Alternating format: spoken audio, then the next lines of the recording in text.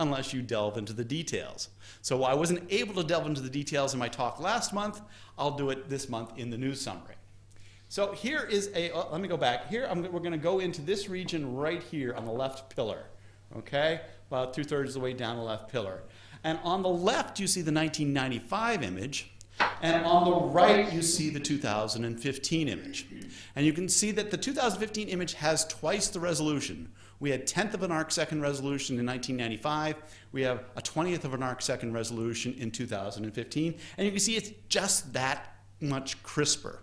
Right? One of the results of the 1995 uh, scientific papers was that these yellow regions, this uh, ionization front, were as thin as Hubble could resolve. You know what one of the results from 2015 is?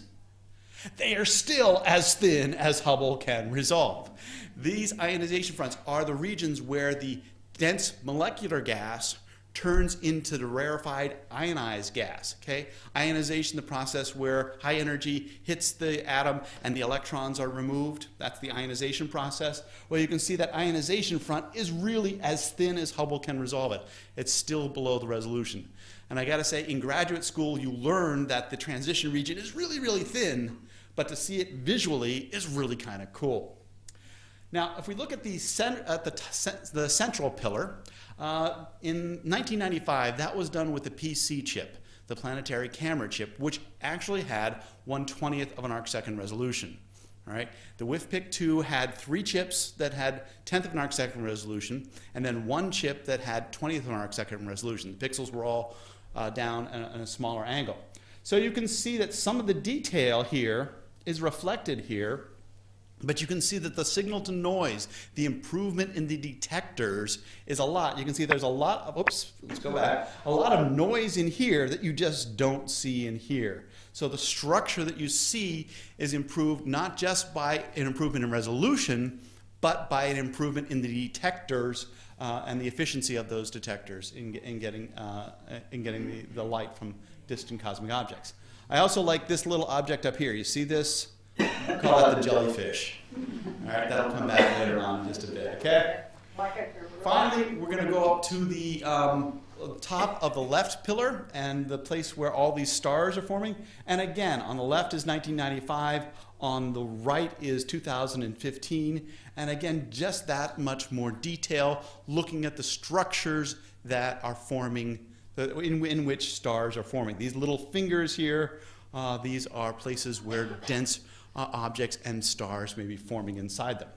Now down bottom here, you see this jet here, and that is a signature of star formation. Now, I like to call this a birth announcement because as a star forms, material is flowing and streaming onto that star from a disk, and other material is then flung off in these oppositely directed bipolar jets Right? And you can see the jets streaming out from a newborn star.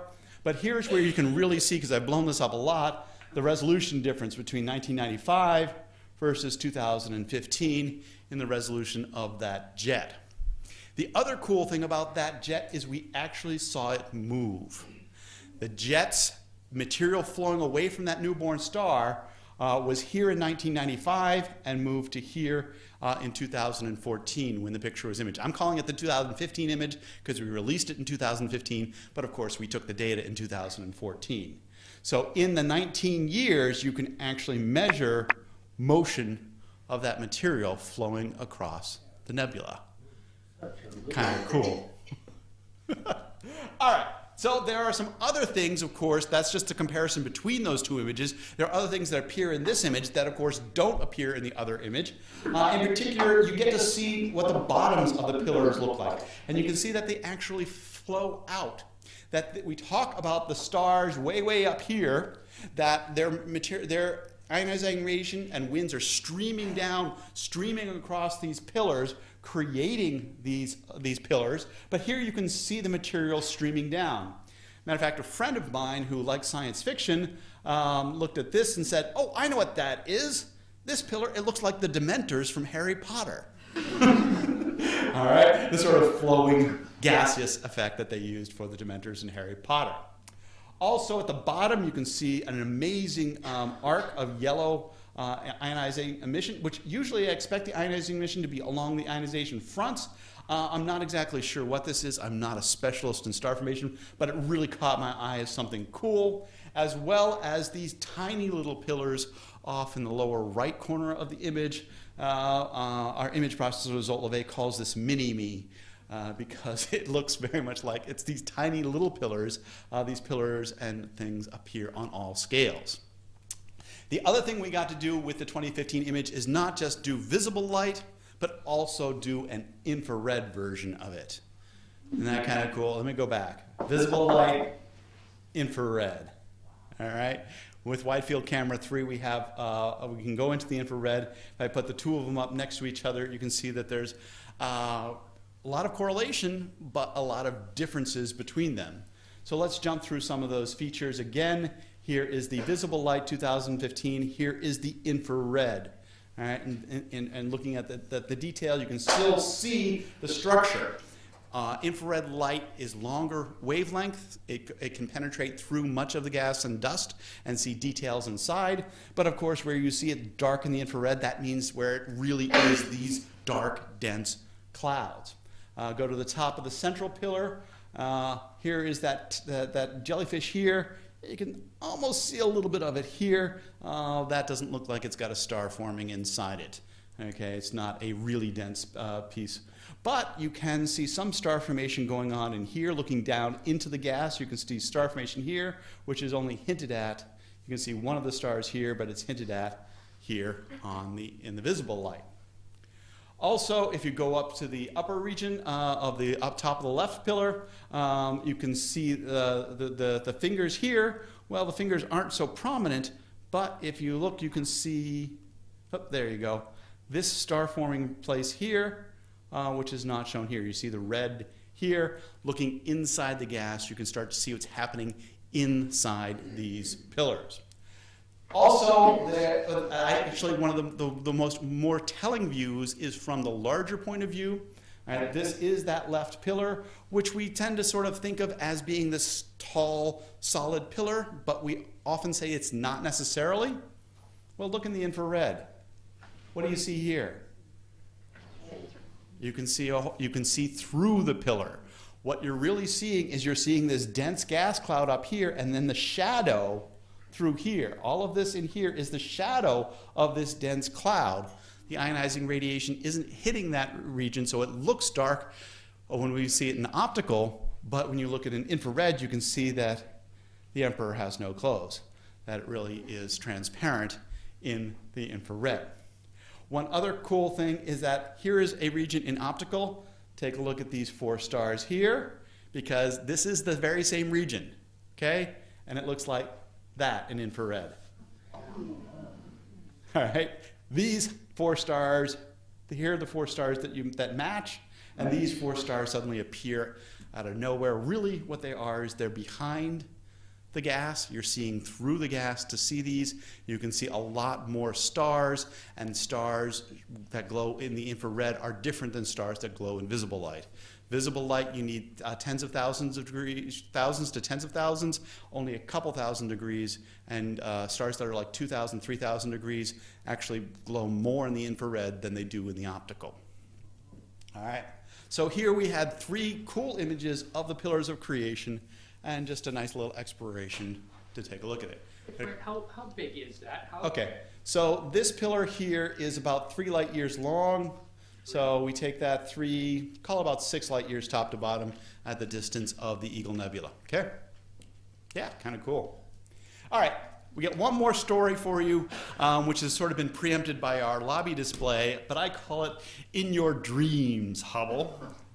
Okay, so this is a picture of the Great Nebula in Andromeda. I found it in a book published in 1915 from the Yerkes Observatory. This was taken in September 1901. and you'll notice this is the Great Nebula in Andromeda because we didn't know what it was for sure until Hubble came along in the 1920s. So here is Hubble's 1923 uh, discovery observation of a variable star in the Andromeda Nebula. As you can see, he's got these N marks here, looking for novae uh, in, in, this, in this nebula to see what he could see. And he had one mark that he thought was a nova, and then found out, no, it's a variable star. And the variable stars are really cool because if it's a specific type of variable star called a Cepheid variable star, the period which it brightens and dims, brightens and dims, that time scale is proportional to its absolute magnitude. So you can measure the brightening and dimming time scale and then know how bright that star really is. And then once you know how bright it is, you can measure how far away Andromeda is. And Hubble was able to do this in 1923 and set the stage that it is not a nebula, but it is a galaxy unto itself. That this nebula is definitely outside of our galaxy. Well, Hubble's namesake telescope looked at that exact same star, we called it Hubble Variable 1, and got images like this.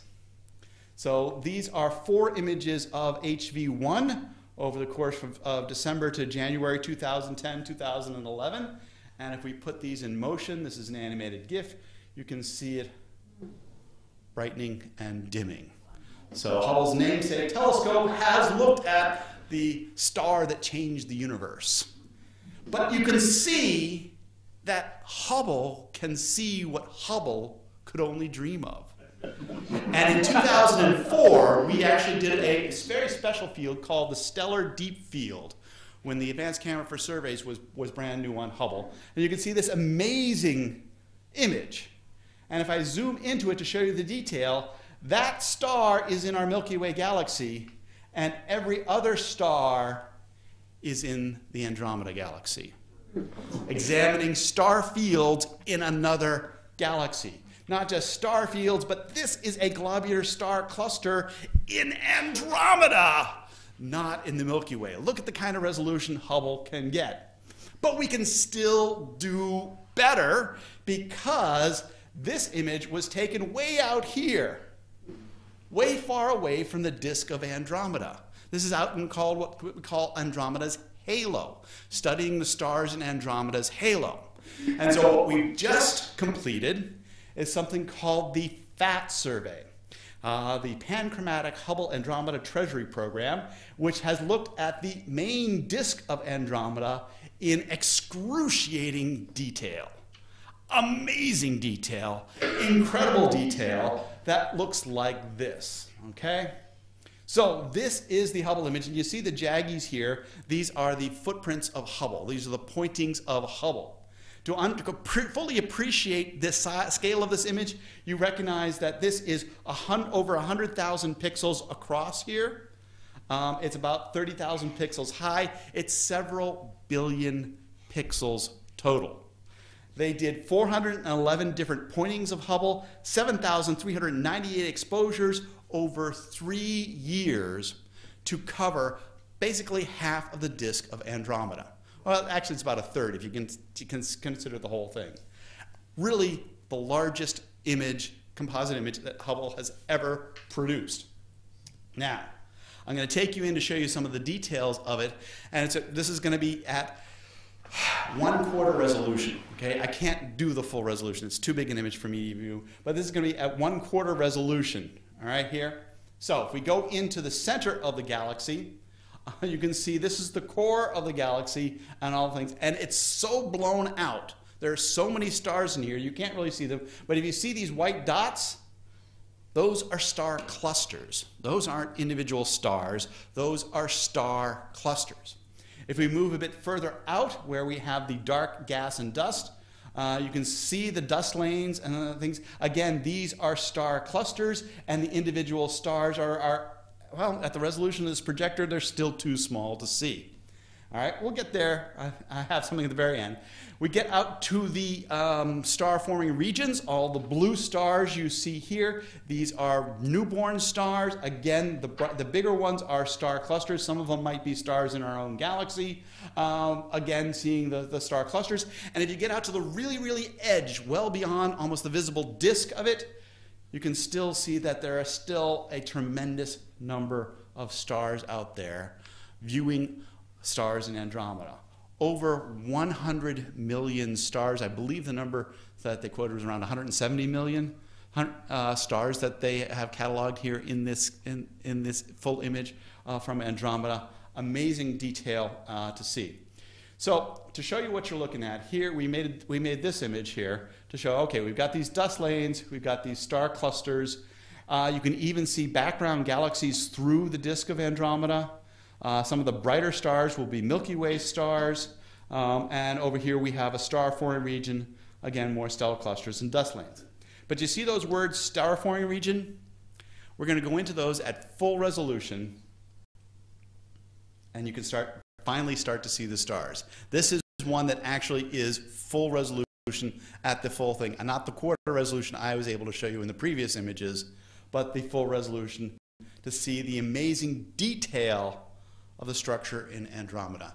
Um, and if you didn't notice it on your way in, if you go out that door, we have the mosaic up there of the cropped image to, for you to look at and see the hundreds of hundred million stars uh, in Andromeda for you to have a look at. Uh, it's only going to be here tonight. Okay, that that mosaic isn't uh, a permanent display here. Uh, you just happen to come on the right night and when, when we get to see that. Okay. All right, so that is our news summary. I went on a little bit long, but you can see we had two really, really cool uh, uh, things to talk about today. All right, so. Jason, you want to come up? Uh, so our speaker tonight is uh, Dr. Jason Tumlinson, also of the Space Telescope Science Institute. Uh, and I forgot to get his resume, uh, but I, have a, I tend to find that these audiences don't really care about your resume because they know you're a, fantastic and wonderful, wonderful guy.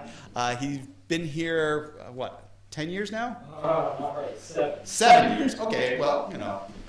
Uh, and uh, he was going to talk to us tonight about the future of space astronomy and the amazing new things that we're going to be able to do over the next couple decades. Ladies and gentlemen, Dr. Jason Tumlinson. test out my equipment here. We're more advanced on the first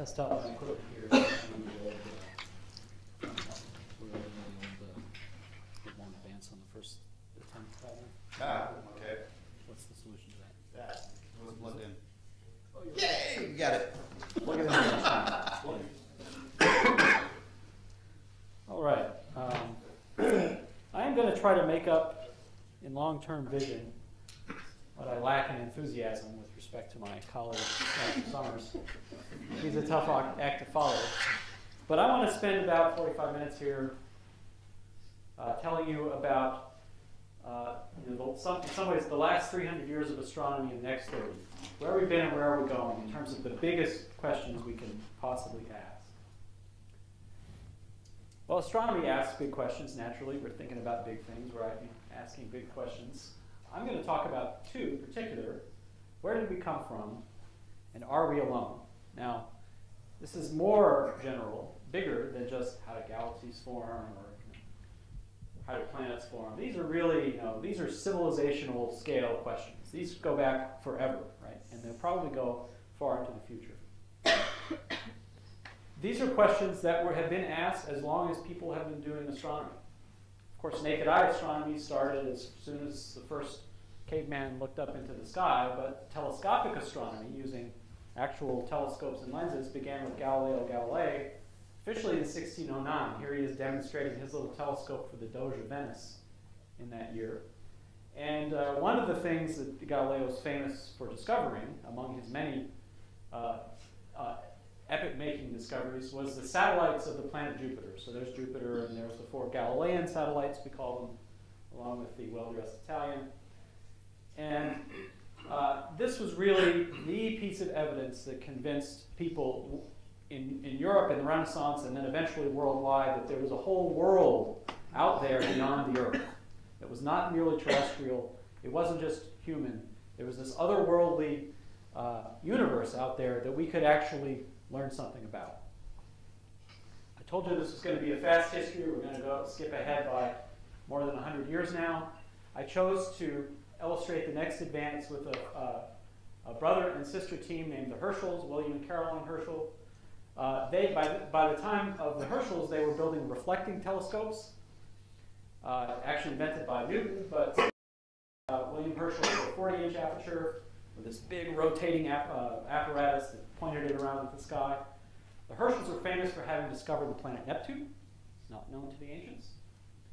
This is William Herschel's drawing of what he thought the Milky Way must, galaxy must look like from looking at the band of stars on the sky and trying to figure out how that would look if we weren't living inside it. It's not that bad, but I think you can compare Herschel's image of a disk galaxy with Hubble's image of a disk galaxy in the lobby and see that you know he was doing pretty well for his time, but we can do much better. Um, there's a whole other technique of astronomical ob- observation which becomes absolutely critical a little bit later, so I want to introduce it rather early. That's called spectroscopy. You can maybe imagine what this is. There's Newton with his uh, prism, right? Everybody's played with a prism when they were a kid or something, you know? You hold a prism up to sunlight, what do you get? You get a rainbow, right? Roy G. Biv, red, orange, yellow, so on and so on. That is the fundamental technique that we still use today. I use it in my daily life as an astronomer to figure out what stuff is made of. And the reason is, if you take a spectrum like this, this is essentially the same kind of measurement as Newton's prism. But if you take a spectrum like this or like this, this is one of the first that existed by the Germans Fraunhofer and Kirchhoff in the 1800s, you can look for these lines. See these lines? This is a solar spectrum. And if you see these lines, that's absorption. That's an atom of a particular kind in that environment absorbing light. So the light doesn't get to you. This is the light that comes out of the sun the, the ultraviolet, the blue, the green, the yellow, the orange, and the red. But where it's absorbed, the spectrum goes black. And that's the way, that's for instance how we know that the sun is made of hydrogen and helium and has some iron and carbon and nitrogen and oxygen and all that interesting stuff. Spectroscopy is the way that we do the physics side of astrophysics. We figure out what stuff's made of, what, what its dynamics are, uh, from taking these spectra. That's Newton's telescope, by the way. Okay, forward into the 1920s. This is Edwin Hubble himself. Uh, and he used this telescope here at Mount Wilson, which is 100 inch, to uh, do what he's famous for, which, uh, which uh, uh, Frank just mentioned, which is to measure the expansion rate of the universe. Now, he did that by observing exactly the stars, some of the stars that Frank mentioned, the, the Hubble variable stars. If he knew how fast and they brightened and dimmed, he could work out the distance. Using spectroscopy, he could work out their velocity by measuring what's called the redshift. As an object recedes from us, it gets redder. As it moves towards us, it gets bluer. And Hubble was able to take redshift and distance and work out that the entire universe was expanding. That's why he's as famous as he is. That's why we named our first space telescope after him. Here we are. This is Hubble. This is uh, the outdated version of what you just saw. I didn't want to steal any thunder. But here's Hubble doing its thing. This is uh, the ultra deep field taken uh, with Hubble's uh, advanced camera for surveys. You know, there's thousands of galaxies in there. I think this one right here, that's the only object in the field that's a star. Everything else is a galaxy. This is to date the deepest uh, picture of the universe that uh, Hubble and therefore anybody has ever taken. So uh, that brings us up to almost the present time. We figured out how to, we figured out, first of all, you know, thanks to Galileo, that there was a universe out there to learn about that wasn't terrestrial. We figured out that we could discover objects beyond what the naked eye or even small telescopes could see. We could see the outer planets, we could see parts of our own galaxy that we live in. Hubble showed us that the universe has a cosmology, that it has a dynamic all of its own, that it's expanding, that there's, there's a history to the universe, that it had a beginning point. It hasn't always been here. All of those things flow from Hubble's discovery of the expansion of the universe. And probably the most epic making or significant from the historical point of view discovery in our lifetimes has been the discovery that there are planets orbiting other stars in our own galaxy. This was came around uh, 1995 with the first discovery of, of, what's called an exoplanet, a planet around another star, uh, by a Swiss group of astronomers um, using a telescope in, uh, in Switzerland. And uh, what's really important about this is that they used this same technique that I introduced, spectroscopy. right? So let's go through this in a little bit of detail just to show you how it works. Here we have a star and a planet, a star and a planet, and the star and the planet orbit their common center of gravity. That's one of Newton's laws of gravitation is that any two objects orbiting will orbit their common center of gravity. That means the star, even though you, you, think, you think ordinarily the planet's orbiting the star, the star's fixed and the planet moves, but it's not quite that way. The star has a reflex motion. It, re, it moves a little bit in response to the gravitational force of the planet. So the star wobbles back and forth just a little bit. And that's illustrated here in the fact that there are two pictures of these stars. When it's, the star's moving toward the Earth just a little bit, the light gets slightly blue shifted. And when the star's moving away from the Earth just a little bit, it gets slightly red shifted. And so by watching the stars wobble back and forth, just like this, these astronomers were able to prove that there was a planet there. Totally, we couldn't, we still can't see that planet. We can't take a picture of that planet yet. That's what we're driving at. But you can prove that the planet's there by measuring the motion of the star that's gravitationally introduced by the planet. That was, uh, that, that was uh, the greatest discovery, astronomical discovery of my lifetime, arguably. People would tell you that the acceleration of the expansion of the universe is equally important. There's a Nobel Prize for it out in the lobby, but I think this one's you know right up there. And uh, this has kicked off a whole revolution in the way astronomers think about our field and the way uh, I think the public thinks about our field, because this is addressing some of the deepest questions that we can address. Like I said, you know, are we alone? Are, is, there, is there any other life out there? So where do we stand now? That was the last 300 years. I'm going to talk a little bit about the present in the next five to 10 years, and then I'm going to tell you what we see coming down 20 or 30 years from now. Um, it happens that we're all fortunate to live in what really is a golden age of astronomy. And the reason for that is that, that funding agencies and the public have bestowed on astronomers an incredibly rich array of frontline instrumentation. You know, the kinds of things that were far, far beyond the imagination of those early astronomers, even even Hubble, who lived in the 20th century. There's the giant space telescope named after him. There's the Kepler Observatory, which looks for planets. I'll say more about that later. The Chandra X-ray Observatory. This is a UV satellite called ultraviolet uh, imaging telescope called GALEX. There's the Spitzer Space Telescope, which is uh, still going after about uh, 11 years. That's an infrared space telescope. There's the European Herschel mission. There's a, a, huge number of 8 to 10 meter telescopes on the ground, the very large telescope, the Keck Observatory.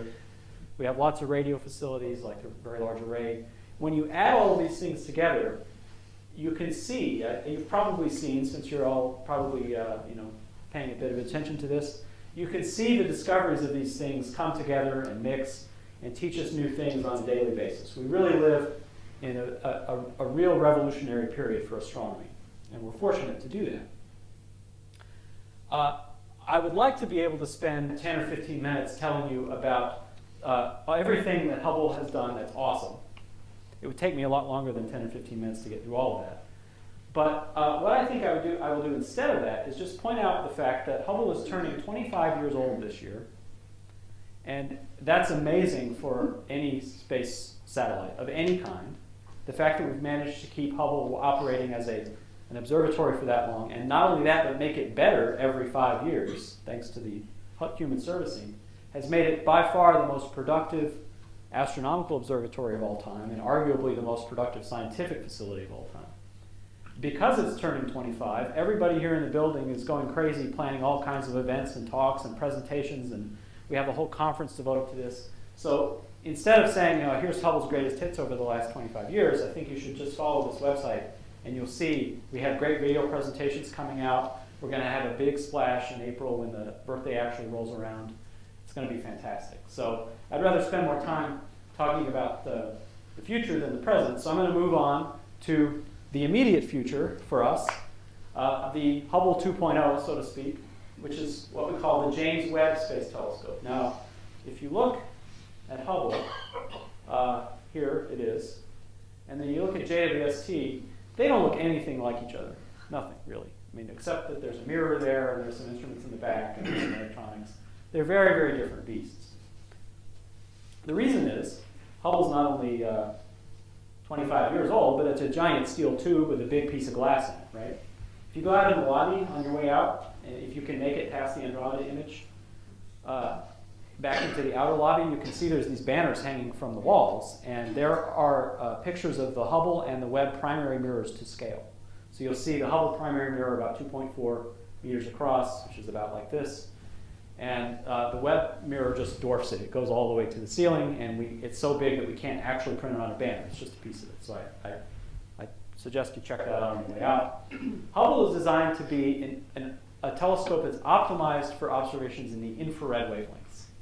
Those are wavelengths beyond what you can see with your eye. You know, light becomes blue and then, and then green and then red, and once it's past red, you can't see it with your eye anymore. There's some insects that can, some probably nocturnal animals that can, but humans can't. The reason we're doing that is to pick up a bunch of stuff that we can only see at those wavelengths. I'll go through a bit of the science case. This is a zoom on Hubble's deepest image, that ultra deep field that I showed you. And then at the, at the end here, we're going to try to resimulate that image as it would appear for JWST. So there it is transitioning to what JWST sees. You see it's a, it's a sharper image. That comes from having a larger telescope.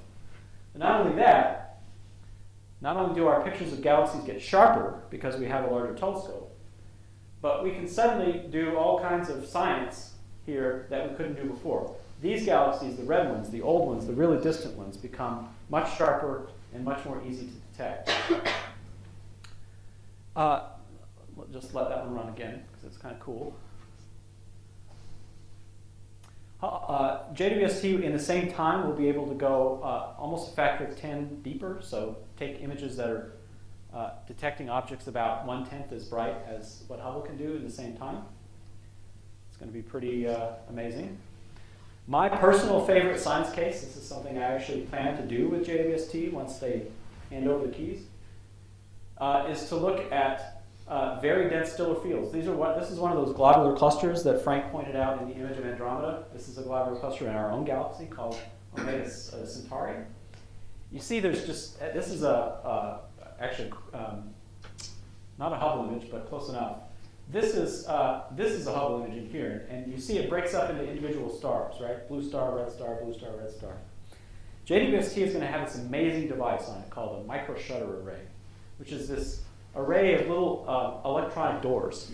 And we can open and close those doors at will and take observations of individual stars. So we can open that door, and take an observation of that star, open that door, and take an observation of that star, and just leave the others closed. So we can pick out stars to observe in these fields. We can work out their age, we can work out their metal content, we can work out what this cluster came from and where it's going, all from taking spectroscopy of these very dense fields. This is the, uh, the scale of those little electronic doors at the scale of a human hair. So pluck out a hair, hold it up, and say, hmm, they made a quarter of a million of those little doors smaller than a human hair in the space of about three, three inches square. It's quite a device. By the way, it operates at uh, 300 and something degrees below zero, too. JWST as an infrared optimized telescope is going to turn images that look like this one, very much like the pillars of creation that Frank just went through, into images that look like this one, right? In other words, uh, uh, peering through this obscuring dust to see the star-forming regions, the young stars right there, and the jets that they power. We're going to start seeing you know, hundreds of images of star-forming regions that look just like this with JWST. So once we have done that, and I should just say, you know, th this is something that hasn't happened yet, right? JWST is supposed to launch in uh, about three and a half years at the end of 2018. We expect it to operate, we hope, for 10 years. So that'll carry us through almost the end of the next decade 2028, 2030, perhaps. JWST, like any telescope that's come before it, it, it's intended to revolutionize things. It's intended to bring us knowledge that we never had before. And more than that, if it's anything like Hubble, it's going to teach us to ask questions that we never thought. In other words, the thing we build it to do is actually only a bit of what it does. Most of what Hubble's famous for are things that its, its designers never imagined. They're questions they never thought to ask. And that's because as science moves along, you come up with new discoveries, and every new discovery raises a new question. So it's very hard for us to predict where our field is going to be in 2028 at least when it comes to deep infrared uh, uh, observations of the universe. So where do we go from there, right? Where once we've got JWST, and we definitely will get it, where do we go then? Well, I like to motivate our work with this really fantastic quote, not from an astronomer, it's a biologist, a rather famous biologist at Harvard, uh, Ed Wilson, famous for ants, actually. He's written a lot of wonderful books about science generally and his life as a naturalist. And his claim very recently was that the most important experiment in biology is the search for extraterrestrial life. Think of this. This is a world famous biologist telling us that the most important experiment in modern biology is an astronomy observation. Right? That tells you something very important about where our field is going in the next decades. And it's not just Hubble, it's not just JWST. NASA has uh, deployed and will deploy a whole array of missions at a smaller scale. These are not the giant, you know, multi-billion dollar flagships, but it has deployed the Kepler mission, and there are two coming down the pipe called TESS, WFIRST after that I'll speak about briefly in a moment, which are designed to address this problem that Wilson has posed. How can we find planets? How can we find planets that might be bearing life? And how can we find out if life is actually there? So we're on a pathway. Kepler's great discovery has been of Earth-sized planets. Kepler's been very good at finding all kinds of planets, but it's especially good at finding Earth-like planets. And it's done that with exactly the same, uh, with, a, with a, it's done that with an observing technique that I'll, I'll, I'll describe in a moment, uh, called transits. But the real important observation is that one out of every five sun-like stars has an Earth-like planet. One out of every five sun-like stars has an Earth-like planet. If you go back after the Andromeda image, you're going to see millions of sun-like stars. That suggests that there are probably millions to hundreds of thousands of stars with Earth-like planets in that image, right? Just statistically, right? In our own galaxy, there are probably millions to tens of millions of, of stars with Earth-like planets. That is a discovery that even those uh, even those astronomers who discovered the first exoplanets couldn't really imagine. This is a very new result. This is as of 2014. Well, we're not only looking for Earth-like planets if we want to uh, solve Wilson's uh, puzzle. We're looking for Earth-like planets in what we call the habitable zone, right? Uh, you might think of this as a bit of a Goldilocks problem if a planet like the Earth, let's say, is at the position of Venus in our own solar system, or even worse, Mercury, it's not a comfortable uh, place where you might want to go to the beach or play golf. It's like Mercury, where it's you know 700 degrees during the daytime and 700 degrees below or 400 degrees below zero at night. It's not habitable. It's too hot. While if you're at the distance of Mars or, or beyond, also not good for going to the beach and golfing, it's too cold. So the habitable zone is, is more or less defined as where the radiation from the, the sun is just right so that water is in liquid form at the surface temperature. Because water is the key ingredient of life. It's 70% of all of our bodies. It's a bummer if the 70% of your uh, body that's water freezes. So uh, in order for a planet to be called habitable by the astronomical standard, it has to be in that region where it's not too close to get too hot and boil off all the water, not too far away to get too cold and freeze all the water. It has to be in this happy habitable zone, the HZ habitable zone. So, we have missions that can find Earth-like planets. Kepler has done it. We have a definition. We understand where those planets should be around their stars to be habitable. Once we've found them, how will we answer this question? Is there anybody living there? Is there life there on that? And it turns out this is a pretty straightforward problem when you think about it. It's a challenging observation, but it's a pretty straightforward problem.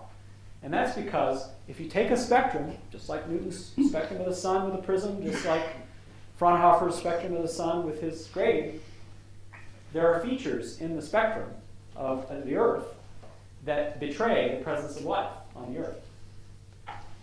They're called, we call them now biomarkers. It's a marker for a biosphere, biomarker molecule.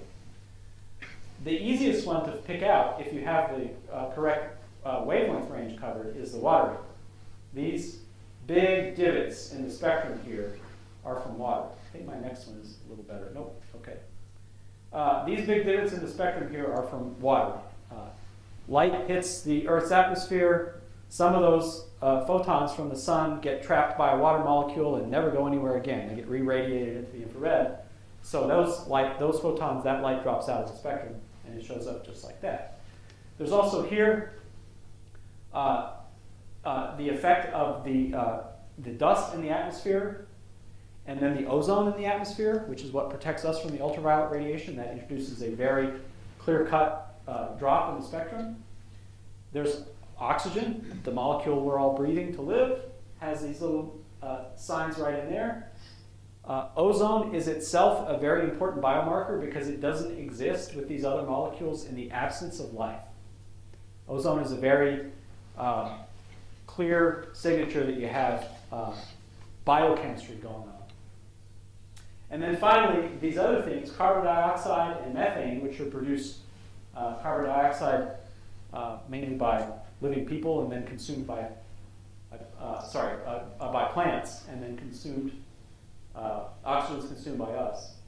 Uh, methane is another uh, uh case where uh, it's either emitted by um, bacteria or by, by animals. So if you can detect all of these biomarkers in the spectrum of an Earth-like planet in its habitable zone, you have the answer. That tells you that on that planet at least, there's strong evidence that there's life there, creating these signatures which otherwise would not exist. This is not what Mars looks like. This is not what Venus looks like. The uninhabited planets in our solar system don't look anything like this. The Earth does because we live here along with a lot of planets. So, one way to detect a biomarker is to use the method that Kepler has used to detect planets, and that's the so called transit method. This is an illustration of it. It's very cool, actually, to see. If you have a star and you have a planet orbiting that star, if it's oriented just right, right?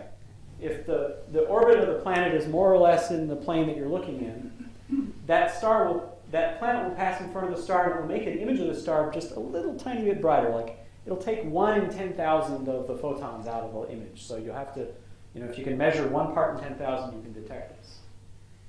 And you can then measure the planet's atmosphere if the planet passes in front of the star, the star by looking for these spectral features in the light that passes from the star through the planet's atmosphere and into our telescopes. So this is one way to detect these biomarker molecules, but it only works if the planet transits, right? It only works if this happens. If the star and the planet is oriented just so that it, the planet every once in a while passes in front of the star. If it's oriented a different way, where you say you have the star and the planet's going around it like this, it never actually passes in front of the star and it doesn't work. And that's actually the case most of the time. Because the orbits are just random, you know, they, they have, you have to be lucky for them to transit like this. So that's probably not going to be the way that we figure out, at least for lots of nearby planets, whether they have these biomarkers or not. Right?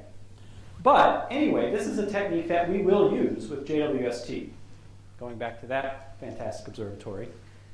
Uh, it, JWST may be able to use this transit technique to detect uh, some biomarker molecules, especially water and methane, on what are called uh, super Earths or water worlds. So something that's two times or three or four times the Earth's mass, rocky in the core but surrounded by a big ocean. JWST might be able to detect water and methane on those planets.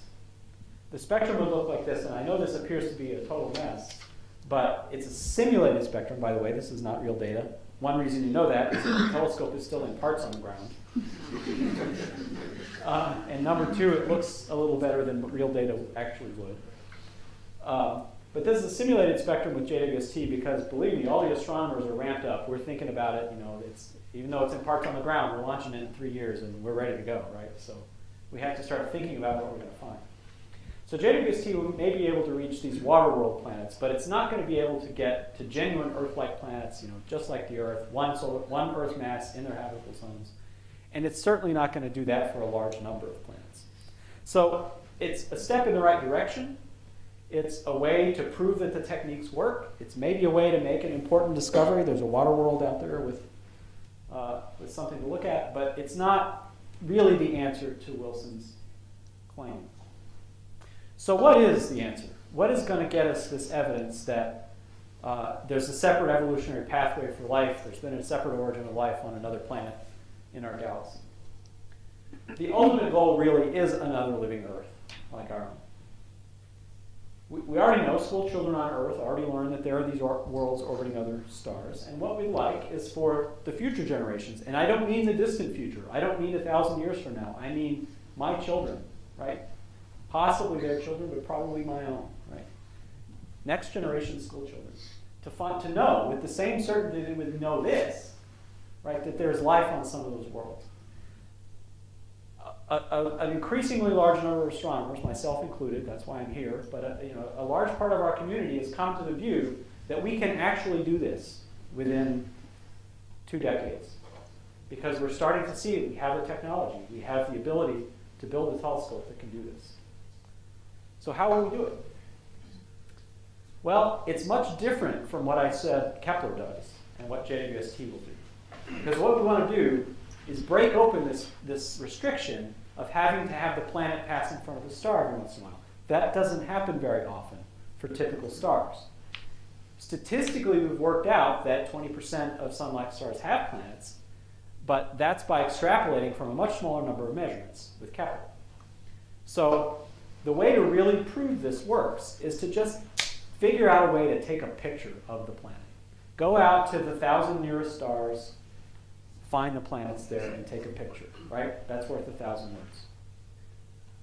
So what we're going to try to use is an instrument called a coronagraph. I don't want to get all into all the technical and optical jargon that's involved here, but basically what you do is when you point your telescope, you put something in the way that blocks the starlight so you can see the planet.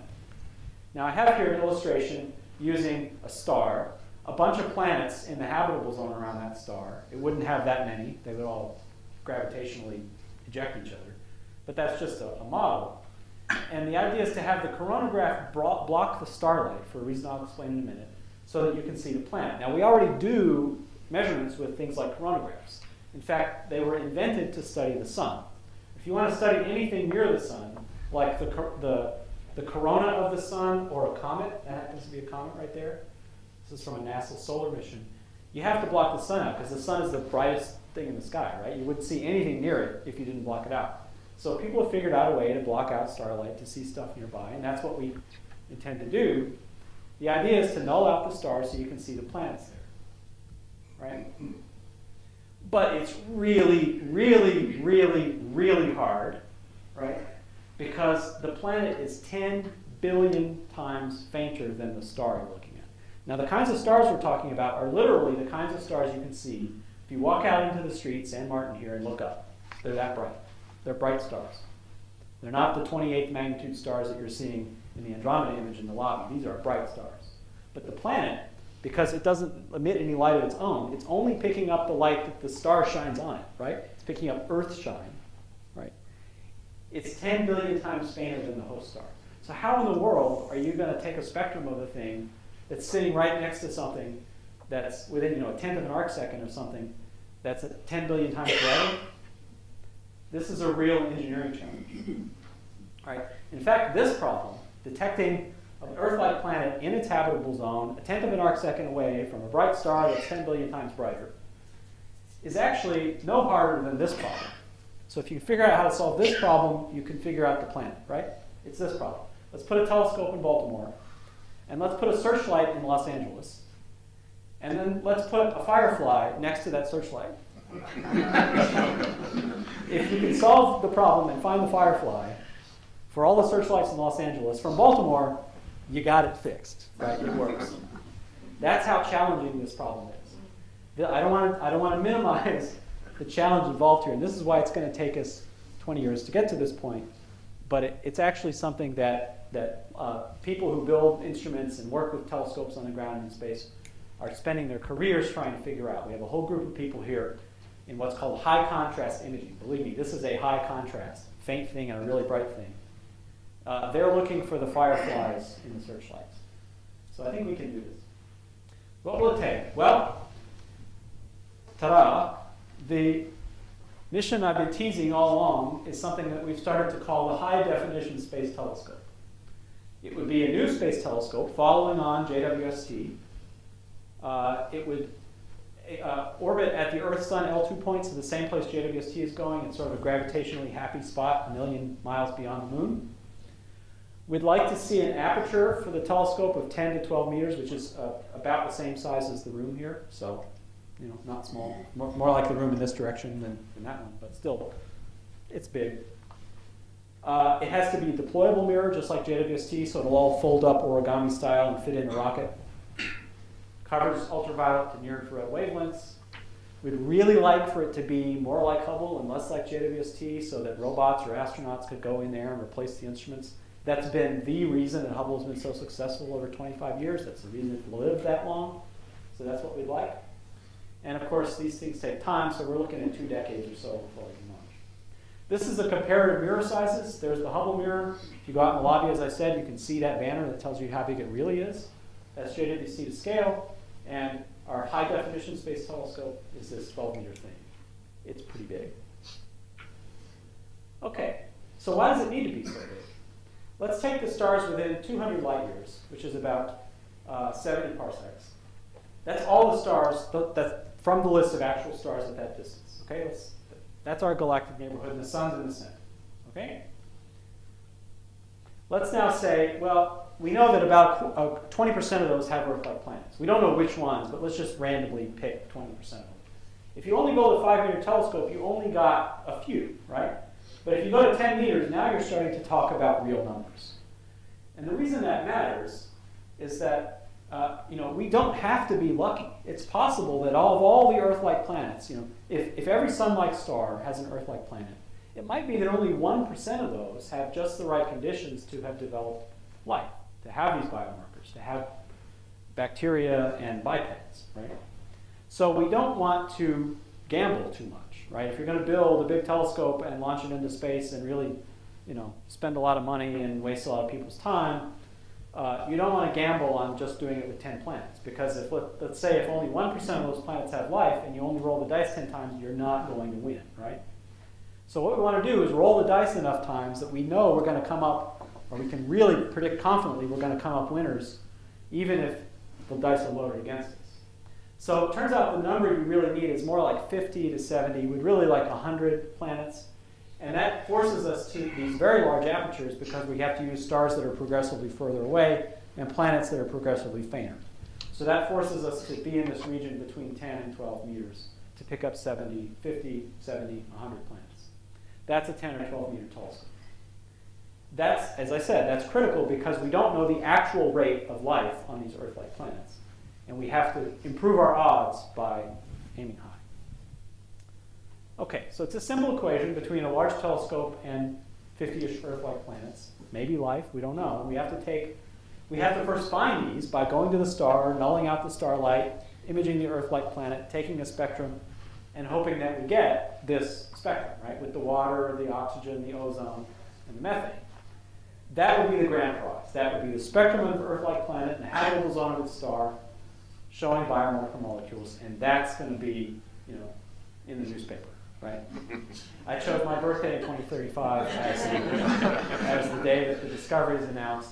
I guarantee you will never see a spectrum like that. They'll show some artist's conception of the planet because they never show spectroscopy in the newspaper. Uh, presumably, Bob Dylan's not going to have a new record out that same day. Uh, it'd be like 98. But that's not all. You're not only discovering Earth-like planets with potentially life on them, but you are going to completely revolutionize the rest of astronomy, right? A 10-meter telescope in space, a 12-meter telescope in space. This is a big deal. And it tells us all kinds of things we didn't know before about galaxies, stars, everything you can think of. And what it really does is follow through on this promise by Riccardo Giacconi, who won the Nobel Prize in Physics in 2002 for inventing X-ray astronomy. He was also the first director of the Space Telescope Science Institute. 21st century astronomers are uniquely positioned to study the evolution of the universe in order to relate causally, relate causally with the chain of causes, the physical conditions during the Big Bang to the development of RNA and DNA, our, our genetic material. And there really is an, an actual link between those two things in the way that I'll describe. So the frontier for astronomy is not only to discover these Earth-like planets and prove there's life there, but to figure out how we got there, right? Which is the same way that we got here. And I like to illustrate this profound fact with uh, the answer to a question that Neil Tyson was asked, I think, on a radio show. It's actually a pretty cool YouTube video if you dig it out. What is the most astounding fact you could share with us about the universe? It wasn't his vest. It was the knowledge that the atoms comprise life on Earth, the atoms that make up the human body, are traceable to the crucibles that cook light elements into heavy elements, and all the fundamental ingredients of life itself. That's the fusion of hydrogen to helium to carbon to nitrogen to oxygen in the interiors of stars. These ingredients become part of glass, glass, gas clouds that form the next generation of solar systems, stars with orbiting planets, and those planets now have the ingredients for life. So that when I look up at the night sky and I know that we are part of this universe, we are in this universe, but perhaps more important than that is the fact that the universe is in us. You may have heard we are star stuff, and that is literally true. All the carbon, all the nitrogen, all the oxygen, all the magnesium, iron, everything you can think of here in your bodies in the room came out of a star. That's pretty profound. It's so profound that it has a t-shirt, right? You are here, right? But what we're really saying is not you are here. That's true. You know, we're here, we're in a galaxy. It's more like you were here, right? The stuff in you used to be in a star. It used to be in the interstellar gas. Some of it used to be in intergalactic space because galaxies like to eject material out into intergalactic space over time. So this whole story of the origin of life goes through the intergalactic medium, galaxies, the interstellar medium, supernovae, right? You used to be part of a supernova explosion at some point. This is the whole story of, of cosmic birth, the living Earth. So I want to very briefly go through this, this evolution from protogalactic seeds through the birth of galaxies, through star clusters, through planet forming into the solar system to tell you how this telescope, this same telescope that's potentially going to discover life on other worlds, is going to blow open this whole story of how that life got there and ourselves. Right? And it's actually pretty amazing to think that even if the, the life we were to discover were to have you know seven heads and to drive on the other side of the road, we would still have this in common, right? We all came out of the same basic cosmic origins, stars, galaxies, and planets.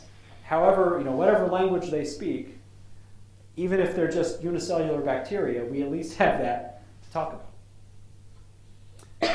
Uh, what we're calling this HDST does an amazing thing. It improves the resolution with which we can observe the universe by more than a factor of 5 in one dimension and 25 in another dimension over Hubble.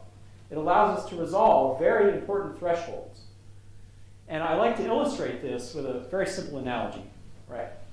the gain in image sharpness between Hubble, which we've all been marveling about here, right? Go out and look at the Andromeda Galaxy. The image sharpness between Hubble and this HDST is exactly the same as between the standard definition TVs that in the 80s were encased in wooden boxes, right? And the new ultra 4K HD TVs that you can still barely afford, right? It's a factor of 25 in image sharpness. And that's going to totally revolutionize the vision we have of galaxies, stars, and everything else leading up to life. I want to make this very concrete. So we have a great postdoc here who likes to make fake galaxies and compare them to real galaxies and figure out what galaxies are doing. And he's helped me to simulate a, a galaxy at, at, redshift 2. So this is 10 billion light years away. It's 10, year, 10 billion years back in time, this galaxy. Hubble has taken pictures of thousands of galaxies that look just like this, right? This is, looks like real Hubble data. It's a disk galaxy at this early epoch. If we zoom in to its star-forming disk, you really can't see much, right? It's a blur. Even Hubble, which is only, you know, seven, eight feet across, can't make out all the detail. Well, I said JWST is going to fly, and that's true, and it'll do better. Its vision is sharper, but it only observes in the infrared. It's, so it's going to miss a lot of the important light, especially the youngest stars, the blue stars in the Andromeda image out there, those are the youngest stars. They wouldn't really show up in a JWST image uh, that's like this. So it's still, it, even though it's a sharper picture, it's not capturing the whole range of what there is to see. But this, look at that. Compare that to this, right? night and day. That's a 12 meter telescope observing in the same wavelength range as Hubble. Right? Look at what you can see if you zoom in. Now you're seeing individual star forming regions, all these little blobs. What used to be just a blur breaks up into individual star forming regions. You can actually see what's going on there, right? This is, these are the building blocks of galaxies. There's another one. See that little satellite galaxy? Pretty much gone, right?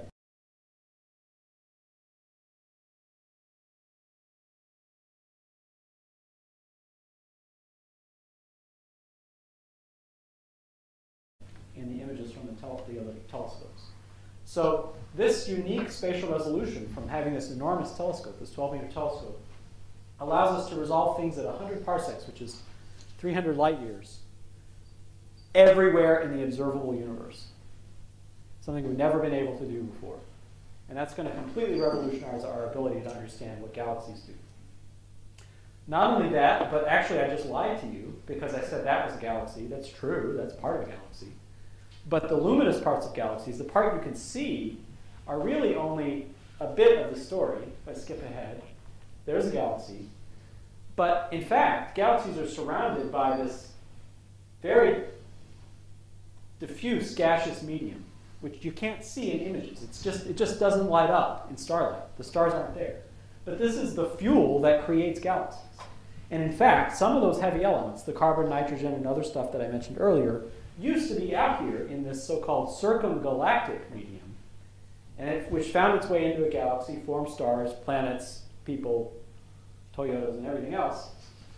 And we've never seen this stuff, right? We know it's there because we can see it absorbing light from the background, but we can't take a picture of it. This observatory will be able to do that. And so we'll be able to see that galaxies are actually surrounded by this rich medium of gas that's feeding them that's receiving the products of their output. And moreover, this stuff recycles over billions of years. This gas goes in a galaxy, forms a star, gets kicked out again, comes back in in this great recycling process. And we can watch that happen if we can fly this observatory. Not only that, if that's not enough, like the knife salesman says, but wait, there's more. At the, at the resolution that this observatory can achieve, virtually every star in the Milky Way moves. Okay, so if you watch a star, you find a star, you wait 10 years, it'll move, right? The, the velocities we can resolve and detect are actually just kind of mind boggling, right? Out to the nearest stars, you can detect motion that's as fast as a giant tortoise right? 0.2 miles per hour. So go to the zoo, watch a giant tortoise. If you wait, if he walked for 10 years without stopping, and you put him out at 10 parsecs, and then you lit him up, you'd be able to see it. so I know that's a lot of ifs, but the point is, it's a really slow motion, right? Virtually every star is moving faster than that. Out to 100 parsecs, out to 10 kiloparsecs, which encompasses the entire entire disk of the Milky Way, we can detect stuff that's moving as fast as a Formula One racer. Out to the nearest galaxy, like the Andromeda Galaxy, anything that's moving about as fast as the space shuttle or spacecraft does in orbit, also detectable motion. And, and this is amazing because it turns the entire galaxy into a movie, right? You can now study not only the static universe, what stuff looks like when you take its picture, but watch its motion over time. So imagine taking that Andromeda image in the lobby there and seeing it in motion, and seeing all the motions of the stars, and watching all the dynamics of the stars moving and forming over time, it will be possible to do all of this uh, in the future. Uh, we'll not only be able to do that, we'll be able to measure the masses of stars, the individual masses of individual stars, all the way out past Andromeda. We'll be able to see stars forming in environments where we currently can't. This is a Hubble image of the star forming region called 30 Doradus. It's in our one of our own satellite galaxies called the Magellanic Clouds. And Hubble sees just a blur there. Frank was showing you earlier, a lot of those star clusters in Andromeda are just, they, they just become a continuous blur in the center because we don't have the resolution to pick it out. HDST is going to be able to see that, break into individual stars, count them, and work out how they got, what their masses are and how they got that mass. Finally, one of my favorite topics is the solar system. We went all the way to the edge of the universe, and now we've come all the way back. But this is just as much a part of origins as anything else. A lot of these outer solar system objects when we figure out what they're made of, they tell us what some of the oldest components of the solar system are. They tell us how much carbon and nitrogen and oxygen there was in the early solar system when the Earth formed. And they tell us much about the history of our own planetary system that we didn't know before.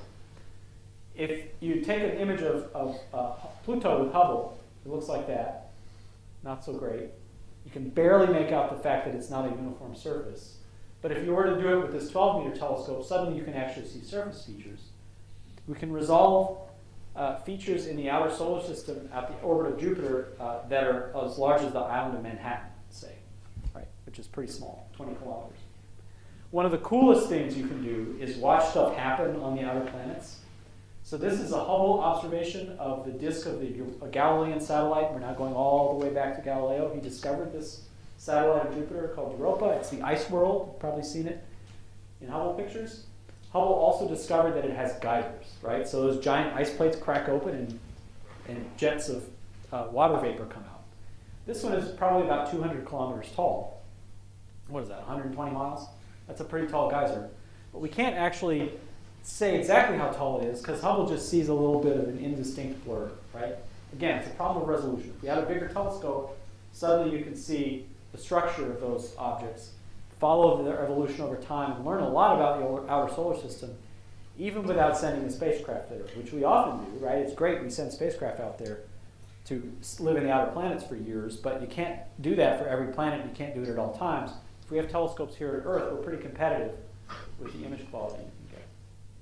So there's a lot of amazing stuff you can do with this telescope apart from finding life, if that's not enough for you.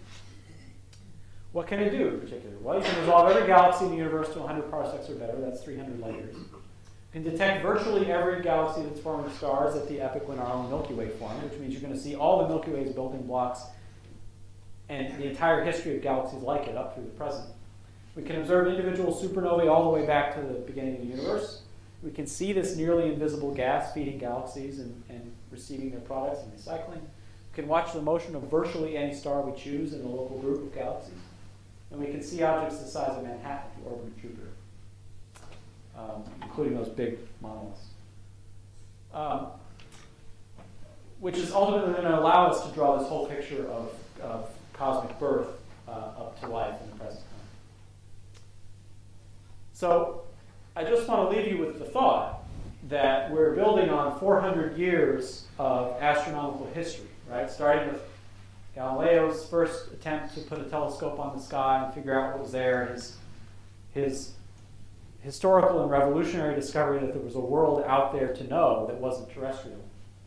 All the way through the astronomical pioneers of the last two centuries, through our present, when we started to grasp the idea that there may be living planets out there and to think that we're, you know, with 400 years of this history behind us, possibly only 20 years from discovering that life is a really amazing idea to contemplate. So I'm excited about this. I hope I've got you a little bit excited about this.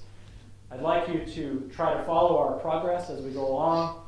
In particular, the, the Institute has a site called searchforlife.net where we post a lot of the developments in this field. Uh, as well as some more in-depth material about this particular telescope.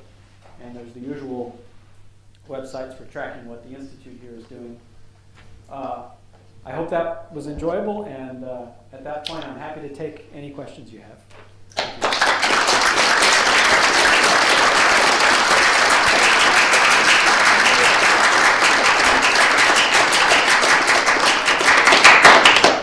It's the end, get it, right?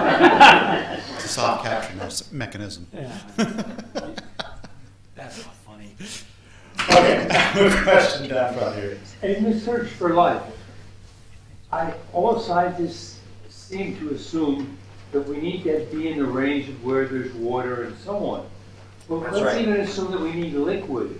That's Why right. couldn't we, life exist in a situation where the liquid was CO2? Yeah, it's true. So um, we are making a big assumption when we talk this way, and it's you. You could almost you could remove that assumption, or you could explain that assumption by just taking basically everything I said. And, and when I said life, just say life as we know it, as we understand it, carbon-based, water-dependent, you know, That, that, and that may be restricted with respect to, you know, the grand diversity Could of be sulfur based.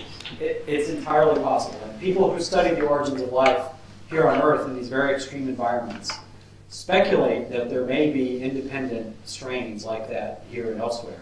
So it's a very good point. And what I'm talking about is, is life that we would, we, we have at least enough in common that it's carbon based and you know, depending on individual. That's true.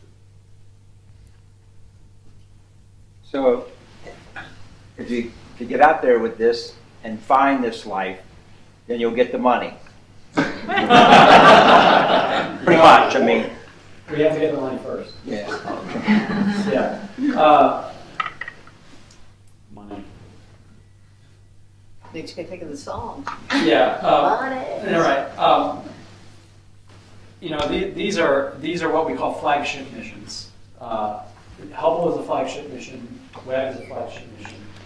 And in my view, they only exist because astronomers and the general public and Congress and every administration all came to the same conclusion, which is to make the great discoveries, you have to have the big gains in capability. And to have the big gains in capability, you have to keep pushing the envelope the technology, and that's expensive.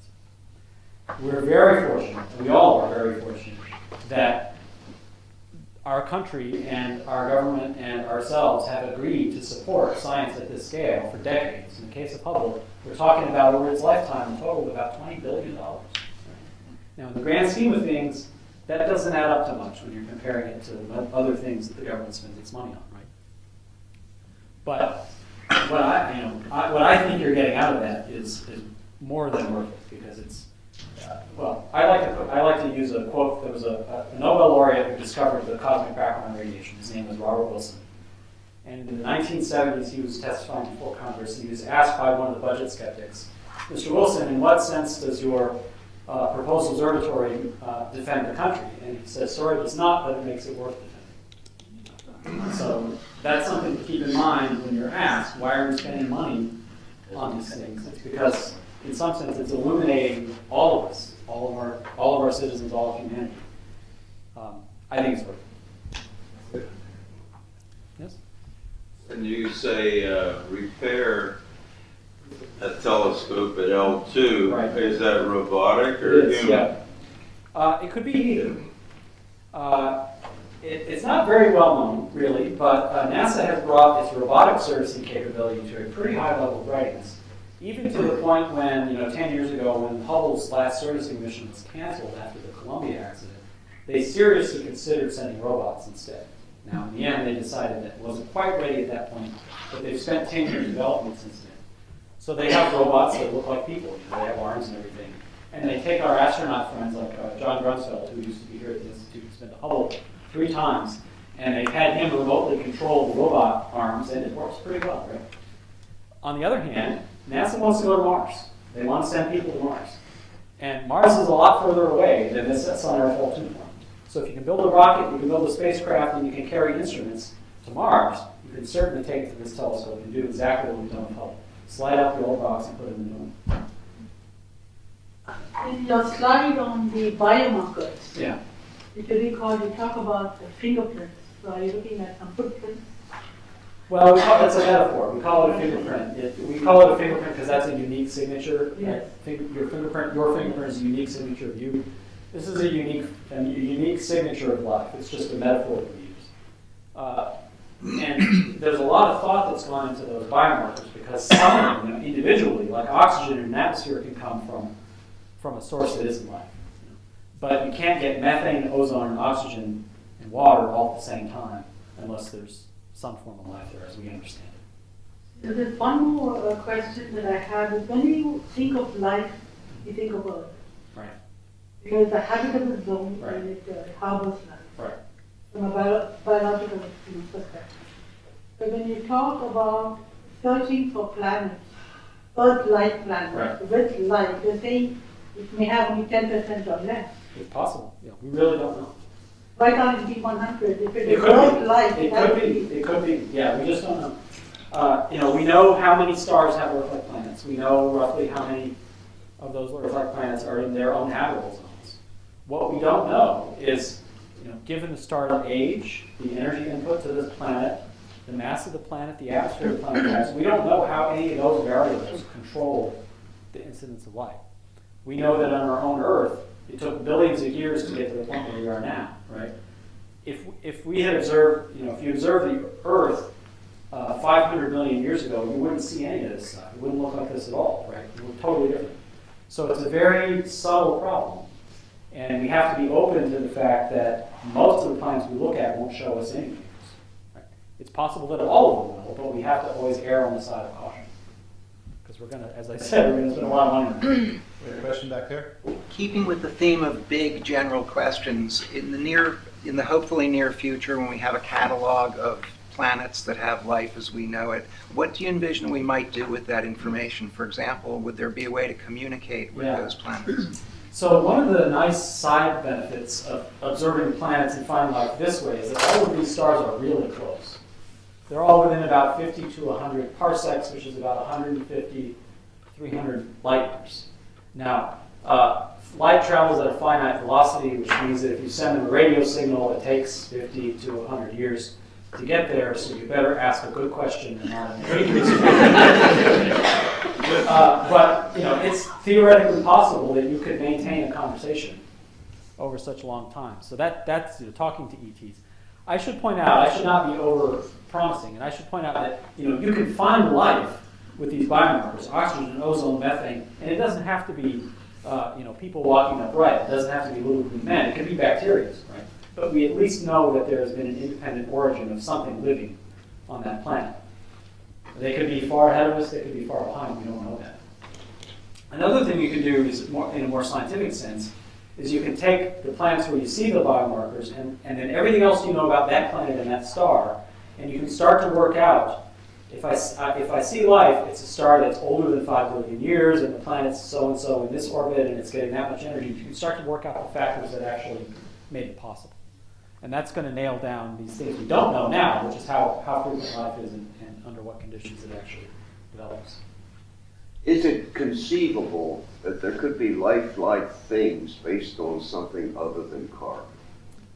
Uh, as I understand it, that is chemically possible. Uh, that's outside the scope of what I've discussed, which has been you know, much more conventional according to the definition that I was discussing with this fellow. Um, but I, I understand that it's theoretically possible to have like sulfur-based chemistry, chemistries. That's right. Over here. Is there any, uh, as you look at the structures you see as far out as you can see, and then you look at like CERN and high energy particle Right. physics, is there any like relationship between the two ends of the? Not really. I mean, eh, you know, th- there's an area in between where you- people think about the cosmological consequences of particle physics at the energy scales that CERN probes. Uh, you know, there, there are some high energy, th- there are, there are theories based in high energy physics that explain the acceleration of the universe that's been discovered. Um, it, uh, there's not much bearing of high energy physics directly on the question of life and its origins and detectability, it's, except to the extent that you know the universe has to make sense and be hos- uh, be hospitable for life. All right, any other questions? All right, one last one down. This is a little different question, I apologize for it, but I'm so interested. You showed a picture of the Andromeda Galaxy taken in 1901. Yes. And of course, the whole, you didn't have, able to make representations, there'd be no astronomy. Right. Okay, that was a beautiful picture. Would you mind telling us, how do you still have, was it on film, was it, how do you still have it? I, thanks to the internet, I found it. Uh-huh. There is, uh, if you go to what the Project Gutenberg, I believe is where I found it. Um, it was a book that was published before copyright was instituted in the United States, and it had a, so it was a 1915 or something book. Um, no, I can't remember what it was. It was a book on natural history, um, and it had all sorts of uh, illustrations, and it did have that 1901 Yerkes Observatory. HD from today, didn't it? It would have been taken on a photographic plate, so a glass plate with. the Yes, photos. but it was, you know, uh, Yeah.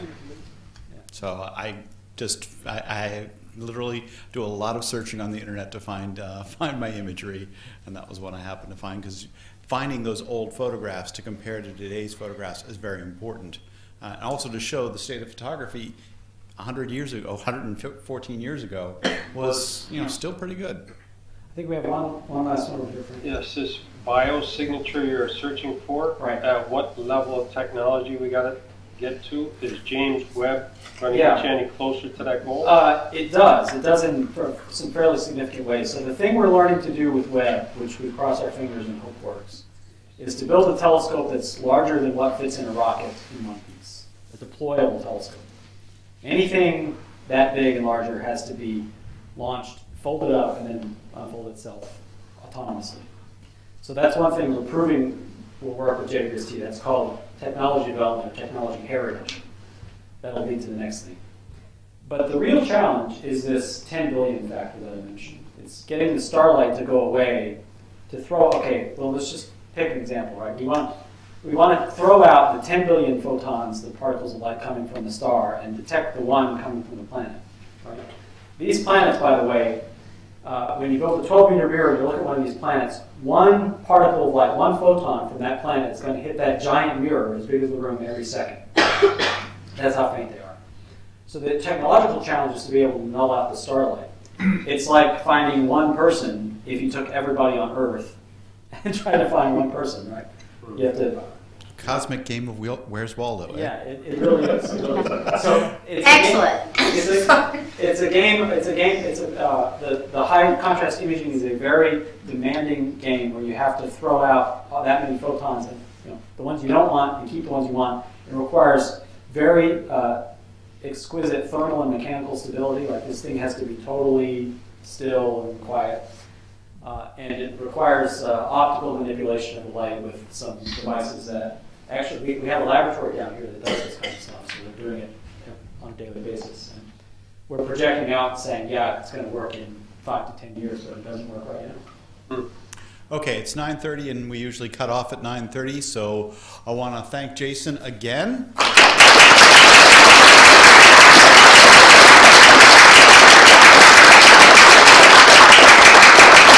And we will see you here next month, March 3rd. Dario Robleto, a wonderful conversation on the combination of art and science. See you all. Have a great night.